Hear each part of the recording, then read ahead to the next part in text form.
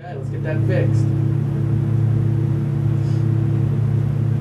Elyse Hobbs is about to do something very few high school students have attempted. Okay, let's get some. She's flying a single engine Cessna on approach to Salt Lake International Now we Airport. have three white and one red light out there to the left of that runway. So what do we need? In this aircraft simulator, you can still see the white knuckles on the controls, but with coaching, Elyse makes a successful landing.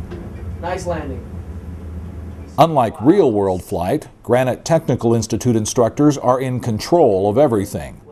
When Easton Dille's turn comes up, the flight simulator program gives him nearly impossible odds. Oh, oh, oh.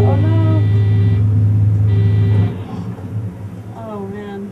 And that's the advantage of the Granite Technical Institute's aeronautics class. You can walk away from a bad situation and learn from it. So, next time we just need to add a little bit of extra speed, maybe not use so much flaps, and we'll be just fine in that wind. All right. Cool. A lot of things that we have to offer here at the GTI that you can't find anywhere else is an on-hands experience.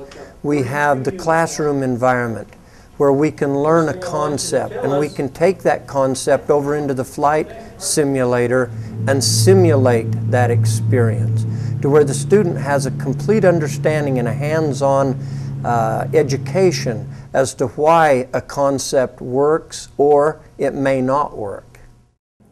The science of flight begins on the ground, and what these aeronautics students learn is more of mathematics and physics than takeoffs and landings. Put down 42 uniform, put down the altimeter setting, two niner, niner one. While many of these Granite Technical Institute students will become commercial pilots, the course opens a wide spectrum of aeronautics careers, from aircraft mechanic to air traffic controller, and in the process, they're equipped with all the academic fundamentals. The skills that students will pick up by attending our program here at the GTI would be everything that you'd find in the core in the high school mathematics, English, science, history. The students will be able to continue their education with Salt Lake Community College in aerospace and continue on to get their private pilot rating, eventually their instrument rating, their commercial ticket, and flight instructor. Eventually they'll be prepared for a position with an airline. The program's flight simulator is an important tool. It allows aeronautics students to make mistakes and learn without risk to life or property.